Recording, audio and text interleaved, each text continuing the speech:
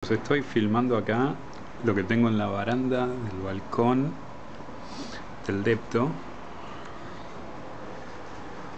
Tres tremendos pedazos de cacatús que me están mirando con una cara de te vamos a comer toda la comida que, que ni les cuento. Otra vez sacan poco, ya están yendo a la mierda.